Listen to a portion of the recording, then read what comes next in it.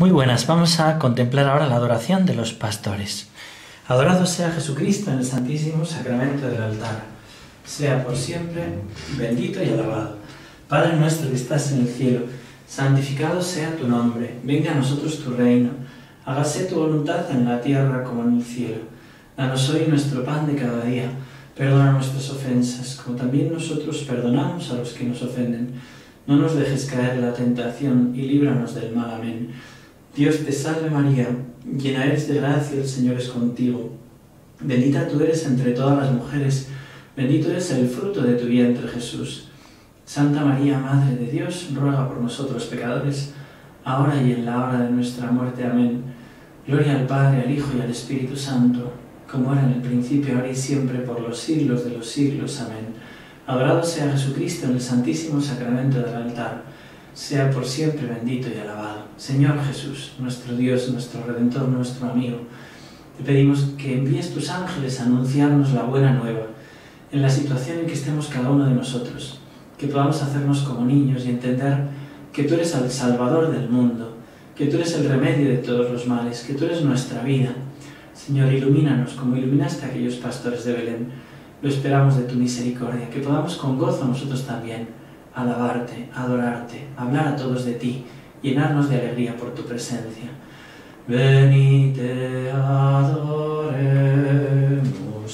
ven y te adoremos, ven y te adoremos, dominum. Vamos a contemplar el pasaje precioso del anuncio a los pastores. Lo tenéis en San Lucas 2, 9 y siguientes. Dice, en aquella misma región había unos pastores que, que pasaban la noche al aire libre, velando por turno su rebaño. De repente un ángel del Señor se les presentó. La gloria de Dios los envolvió de claridad. Vamos a pararnos ahí un momento. Aquellos pastores eran gente sencilla, eran gente no muy instruida, no era la gente culta, la gente del templo, los fariseos, los saduceos, no, eran gente sencilla, gente pues de andar por casa, como decimos, ¿no? Pero aquella gente estaba velando, velaba. Es una de las cosas que nos dice el Señor. Velad, velad. Velad porque no sabéis el día y la hora, velad, estad atentos, ¿no? Porque como un ladrón en la noche viene el Señor, ¿no? Y aquellos pastores velaban, estaban atentos. Seguramente serían eh, judíos que esperaban la venida del Mesías, ¿no? De algún modo la esperaban. Em, y bueno, estaban pendientes a los signos de Dios, a lo que pudiera venir, y estaban velando. Fijaros lo que decían los profetas, ya digo, los judíos sabían de memoria los textos, ¿no? Y Jeremías, en el capítulo 33, 14 y siguientes, dice, Mirad que llegan días, oráculo del Señor, en que cumpliré la promesa que hice a la casa de Israel y a la casa de Judá en aquellos días y en aquella hora suscitaré a David un vástago legítimo, que hará justicia y derecho en la tierra. En aquellos días se salvará Judá, y en Jerusalén vivirán tranquilos, y la llamarán así, Señor nuestra justicia. Se sabía que había una promesa que se iba a cumplir ¿no? en la casa de Israel, en la casa de Judá. De David un vástago legítimo, un descendiente de David sería el Mesías. Y dice Isaías 62, 1, 7, Por amor de Sión no callaré, por amor de Jerusalén no estaré quieto, hasta que salga su justicia como resplandor y su salvación se encienda como antorcha. Entonces verán las naciones tu justicia y todos los reyes tu gloria, y te llamarán con un nombre nuevo, que la boca del Señor determinará. Serás también corona de hermosura en la mano del Señor y diadema real en la palma de tu Dios. Nunca más se te dirá abandonada, ni de tu tierra se dirá jamás desolada, sino que te, se te llamará mi deleite, mi deleite está en ella, y a tu tierra se llamará desposada, porque en ti se deleita el Señor, y tu tierra será desposada, porque como el joven se desposa con la doncella, te desposarán tus hijos, y como se regocija el novio con la novia, tu Dios se regocijará por ti. Sobre tus murallas, oh Jerusalén, he puesto centinelas, en todo el día y en toda la noche jamás callarán los que hacéis que el Señor recuerde, no os deis descanso, ni le concedáis descanso hasta que la restablezca, hasta que haga de Jerusalén una alabanza en la tierra. Fíjense, queridos amigos, ¿no? Está pidiendo que haya centinelas que estén recordando al Señor sin darle descanso hasta que restablezca Jerusalén, hasta que haga una alabanza en la tierra, toda la tierra una sola alabanza. Esos centinelas han sido los profetas, pero de algún modo por el bautismo todos tenemos que ser sacerdotes, profetas y reyes. Y tenemos que ser centinelas, que están atentos a los signos de los tiempos. Em, como aquellos pastores estaban atentos, ¿no? Y no se durmieron, sino que ante la venida de los ángeles estaban velando. Fíjense, haciendo un poquito de teología de la historia, lo que dice en el Evangelio de San Lucas 21, 25 y siguientes. En aquel tiempo dijo Jesús a sus discípulos, habrá signos en el sol y la luna y las estrellas, y en la tierra habrá angustia de las gentes, enloquecidas por el estruendo del mar y el oleaje. Los hombres quedarán sin aliento por el miedo y la ansiedad ante lo que se le viene encima al mundo, pues los astros se tambalearán. Entonces verán al Hijo del Hombre venir en una nube con gran poder y majestad. Cuando empiece a suceder esto, levantaos, alzad la cabeza, se acerca vuestra liberación. Tened cuidado, no se os embote la mente con el vicio, la bebida y los agobios de la vida, y se os eche encima de repente aquel día, porque caerá como un lazo sobre los habitantes de la tierra. Estad siempre despiertos, pidiendo fuerza para escapar de todo lo que está por venir, y manteneos en pie ante el Hijo del Hombre. Fijaros, estad despiertos, que no se os embote la mente con el vino, ¿no? con el vicio, con los agobios de la vida.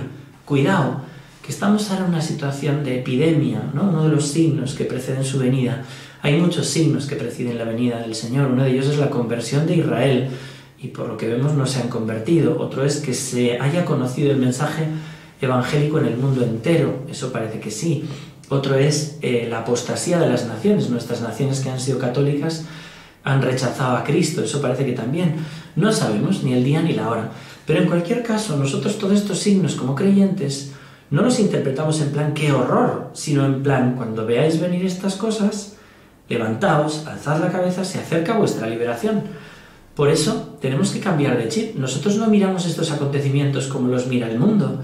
Nosotros los miramos como los creyentes, profundamente creyentes, y somos centinelas. Decimos, oye, cuidado, que esto es una epidemia, ¿no?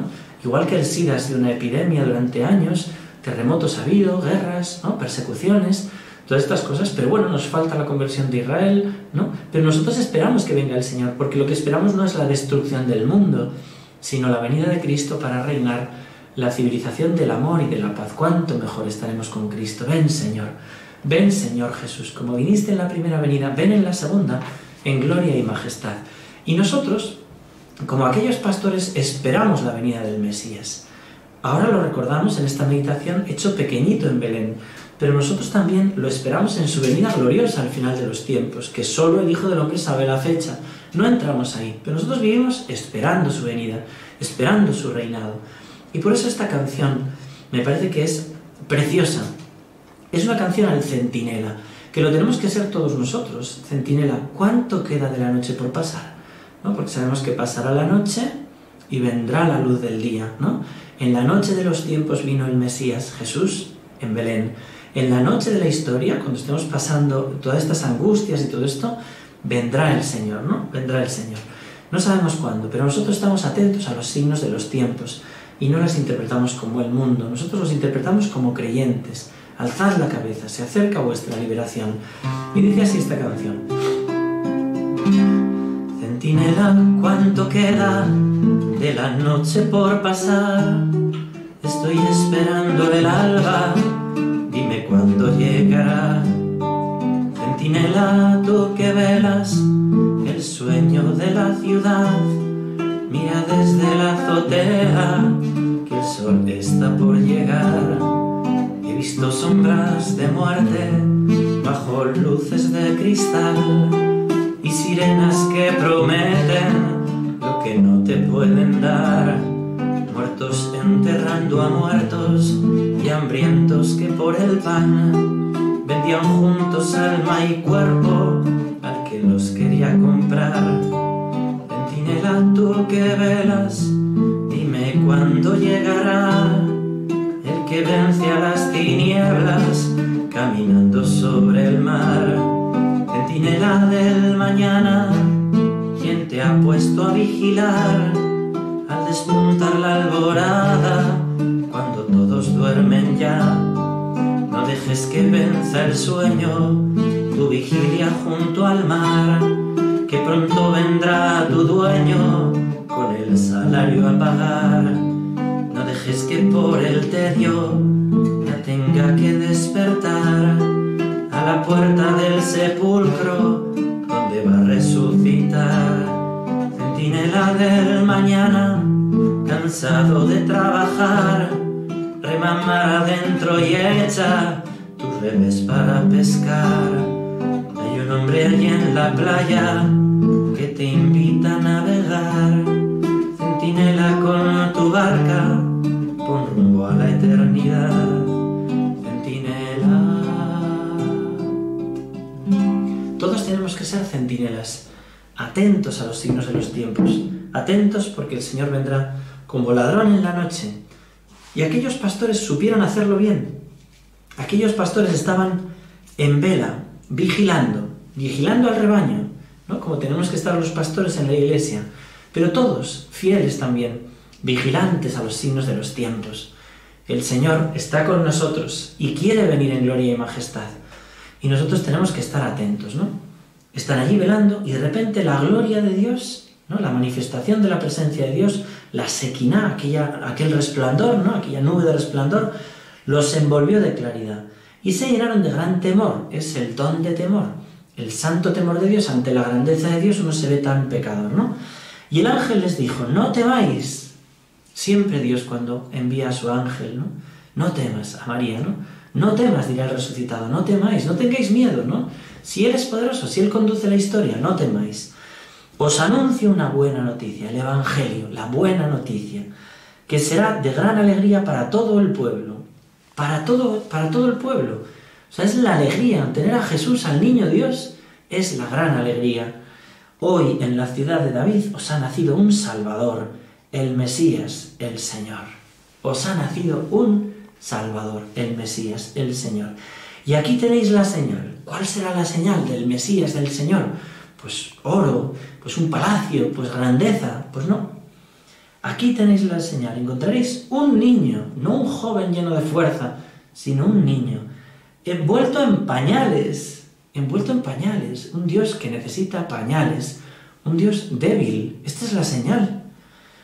Acostado en un pesebre donde comen los animales, como para darse en comida, como para dejarse comer.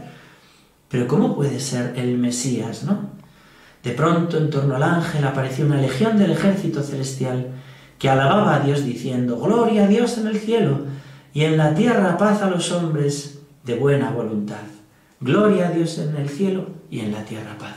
¿Qué anuncian los ángeles? Que tengamos paz, que tengamos paz. Y nos lo dicen también ahora, tened paz. Yo he vencido al mundo, dirá el Señor. Tened paz. Soy el Emmanuel, soy Dios con vosotros, ¿no? Tened paz. Y sucedió que cuando los ángeles se marcharon al cielo, los pastores se decían unos a otros, vayamos pues a Belén y veamos lo que ha sucedido y que el Señor nos ha comunicado. Con qué alegría han visto la gloria de Dios, ¿no? Han visto su poder y ahora van al Belén, ¿no? Y ahora van a Belén, van a adorar a este niño y van a buscar lo que sea para llevarle al niño, ¿no?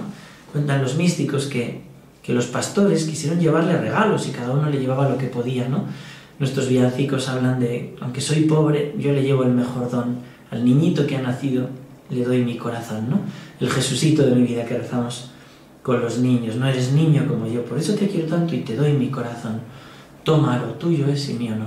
Mirad, solo los que se hacen como niños pueden ser centinelas los que están llenos de la sabiduría de este mundo, ¿no? los que ponen la confianza en el hombre, dice el profeta, ¿no? maldito quien pone su confianza en el hombre, bendito el que confía en el Señor. No quiere decir que no confiemos unos en otros, sino que cuando dejamos de confiar en Dios, nos acabamos volviendo como Satanás, que solo confiamos en nosotros mismos, en nuestra soberbia. ¿no?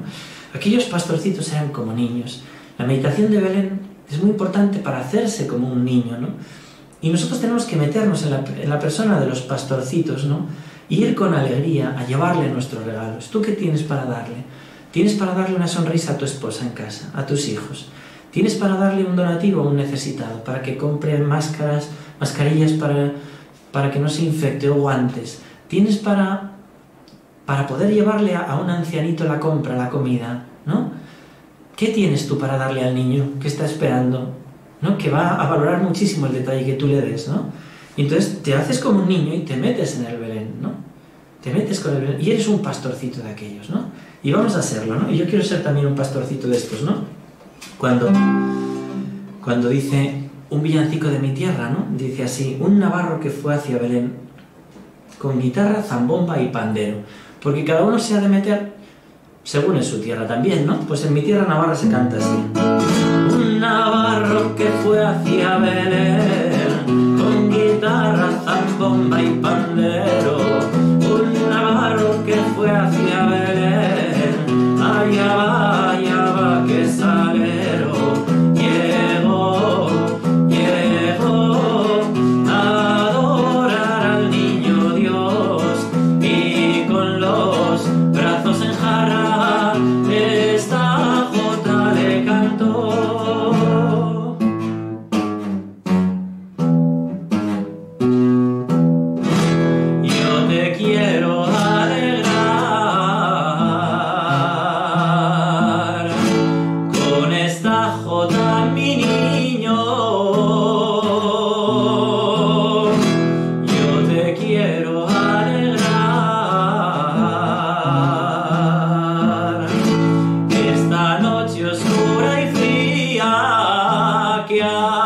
passado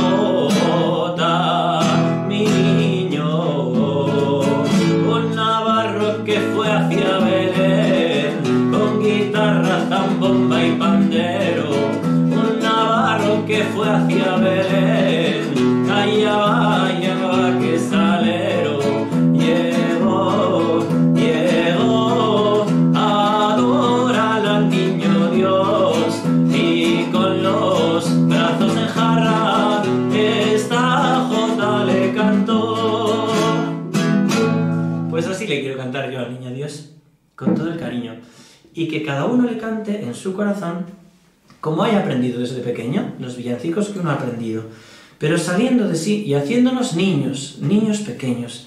Esa es la clave. Estos pastorcillos fueron muy agradables al buen Dios porque se hicieron niños, supieron hacerse niños.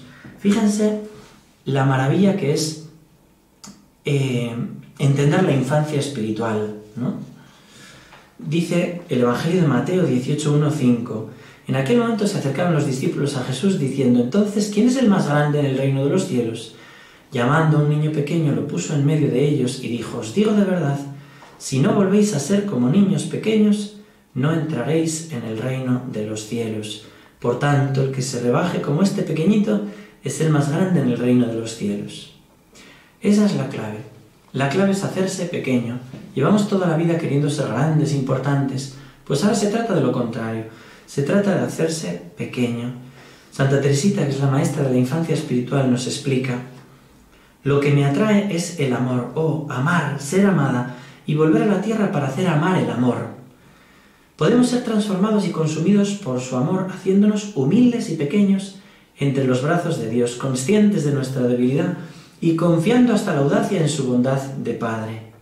Usted, madre, dice ella, sabe bien que yo siempre he deseado ser santa, pero ay, cuando me comparo con los santos, siempre constato que entre ellos y yo existe la misma diferencia que entre una montaña cuya cumbre se pierde en el cielo y el oscuro grano que los caminantes pisan al andar. Pero en vez de, desanimarme, me he dicho a mí misma, Dios no puede inspirar deseos irrealizables. Por tanto, a pesar de mi pequeñez, puedo aspirar a la santidad. Agrandarme es imposible, tendré que soportarme tal cual soy, con todas mis imperfecciones. Pero quiero buscar la, forma de ir al cielo por un caminito muy recto y muy corto, por un caminito totalmente nuevo. Estamos en un siglo de inventos. Ahora no hay que tomarse ya el trabajo de subir los peldaños de una escalera.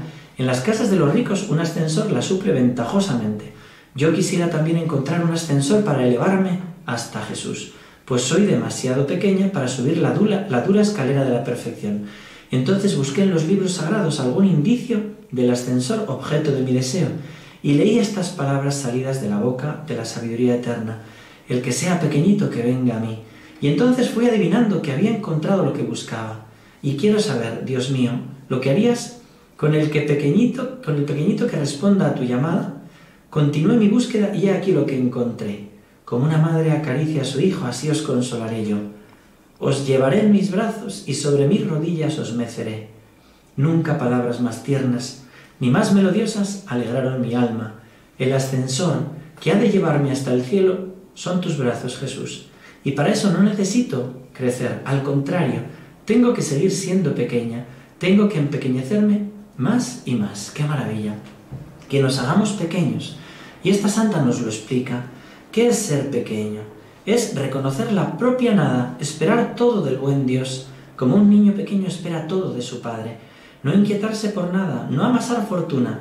Podremos ser transformados y consumidos por su amor haciéndonos humildes y pequeños entre los brazos de Dios, conscientes de nuestra debilidad y confiando hasta la audacia en su bondad de Padre. Ser pequeño es además no atribuirse a uno mismo las virtudes practicadas, creyéndose capaz de cualquier cosa, sino reconocer que Dios pone ese tesoro en manos de su hijito para que se sirva de él cuando lo necesite. Pero este tesoro sigue siendo el de Dios. Qué regalazo más grande. El ser pequeño, tenemos que pedírselo al Señor, que nos conceda ser pequeños y entender este misterio, como si fuera la primera vez que se nos cuenta, ¿no? Hay una historia muy bonita que se canta, dice así, es un padre que le habla a su chiquitín. Un padre le cuenta a su chiquitín esta vida todo tiene un fin, pero yendo al cielo se vive mejor. Todo es alegría y allí no hay dolor. Dios nos da su amor que nunca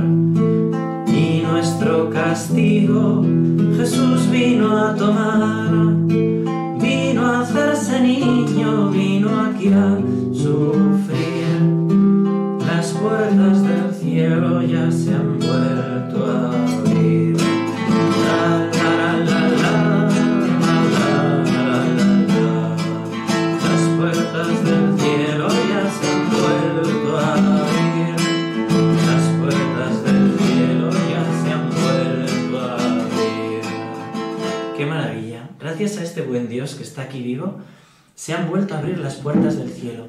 Y le pregunta a este niño, ¿cómo puede ser que viniera del cielo si él estaba ahí tan bien, tan a gusto con el Padre y el Espíritu Santo, si sabía que iba a morir en la cruz?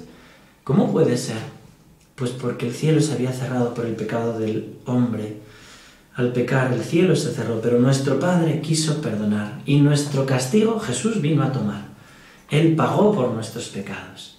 Él ha venido, se ha hecho pequeño para morir en cruz. Trabajar, dice San Ignacio, para llegar en pobreza hasta morir en cruz. Este es el Salvador del mundo. ¿Cómo no va a ser motivo de nuestra alegría? Venga lo que venga, ¿qué nos puede venir? La muerte, pues, pues hay cielo. ¿Qué nos puede venir? Lo peor que nos puede venir es el pecado, perdernos a este niño. Por eso, que estemos atentos, que seamos centinelas como estos pastores, ¿no? Y sigo el relato, que es una preciosidad lo que dice, ¿no? El texto de estos pastores, ¿no? Os anuncio una gran alegría, os ha venido el Salvador, ¿no? Ha venido a salvarnos el Mesías, el Señor, la señal, ¿no? Es la sencillez del niño Dios que ha escogido ese último lugar. Vayamos pues a Belén, dicen los pastores, y veamos lo que ha sucedido. Y dice, fueron corriendo y encontraron a María y a José y al niño acostado en el pesebre. Así, en un pesebre, humilde, ahí está nuestro buen Dios, sonriente, con los brazos abiertos, para acogernos, ¿no? Eh, al verlo, contaron lo que les habían dicho de aquel niño. Todos los que lo oían se admiraban de lo que les habían dicho los pastores. María, por su parte, conservaba todas estas cosas meditándolas en su corazón. Qué maravilla, la Virgen contemplando, Jesús contemplando, ¿no? ¿Y qué habían contado? Pues que nos han dicho los ángeles han venido, han abierto el cielo y con una luz, un resplandor nos decían, os anunciamos una buena noticia, ha nacido el Salvador del mundo y es este niño y no está en un palacio, está en un pesebre, ¿no? Y nos dijeron que las señales eran esas, unos pañales, un pesebre, un niño, y nosotros lo hemos reconocido, ¿no? Y dice, ¿no? Y se volvieron los pastores dando gloria y alabanza a Dios por todo lo que habían oído y visto conforme a lo que se les había dicho. Los místicos nos dan detalles preciosos. Dice que al día siguiente volvieron con sus esposas, con su familia, con postres, me imagino a todas las señoras de los pastores, habiendo preparado cantidad de pasteles, de comida, de detalles para el niño, para la Virgen, ¿no? Y, también nos dice esta mística que la Virgen María dejaba al niño Jesús en los brazos de los pastores, ¿no? que después de adorarlo con cantos, de alabarle, ¿no? Les dejaba, la Virgen dejaba al niño en brazos de los pastores, aquellas manos rudas, ¿no? que son las nuestras, ¿no? estos corazones rudos que tenemos, ¿no? y la Virgen confía en ti y te deja al niño para que tú lo cojas. ¿no? Esto es lo que hace la Iglesia cuando tú comulgas, ¿no? te deja en tu corazón al niño Dios vivo, para que tú lo trates pues con todo el cariño como se merece, ¿no? y para que te vuelvas loco de amor. Si amores me han de matar, ahora tiene lugar, para que te comas a besos al niño para que le adores, para que le ames, para que le cantes, para que te des cuenta que este niño está tiritando de frío y necesita el calor que tú le des, esa mantita que le vas a dar, ¿no? de tu cariño, de tu amor. Eso es lo que necesita. Lo único que necesita de nosotros el Señor es el amor. Y es lo que nosotros le podemos dar. Él es rico de todo, pero está mendigando amor. Se ha hecho pobre para enriquecernos con su pobreza. Y vamos nosotros a adorarle, a comernos a besos, ¿no? Y luego, ¿qué hacemos? Dice que los pastores se marcharon glorificando a Dios, se fueron glorificando a Dios. Dice, dando gloria y alabanza a Dios por todo lo que habían oído y visto conforme a lo que se les había dicho. Todo es conforme a lo que Dios dice. Pero tenemos que ir, no nos podemos quedar quietos, hay que ir a adorar al niño. Hay que estar dispuesto a salir de nosotros mismos y amarle y adorarle. Este niño que va a morir en cruz por nosotros. Vamos a darle vueltas en el corazón y vamos a estar atentos que los acontecimientos sociales que pasan también tienen que ver con este niño. Él no es la causa, insisto. Él es el remedio, pero él advirtió que esto pasaría, que las naciones le iban a abandonar, que le íbamos a dejar de lado y que consecuencia de eso, no por él, que no es la causa de los males, sino consecuencia de habernos apartado de él, el Señor se retira porque es un caballero, pero nosotros nos quedamos solos y nos morimos de tristeza. Bueno, pues volvamos atentos la mirada a los signos de Dios y esperemos. Y cuando veamos estas cosas calamitosas que nos hacen sufrir tanto, digamos, levantad la cabeza, se acerca vuestra liberación y dediquémonos a adorar al niño y a cantarle. Venite, adoremos. El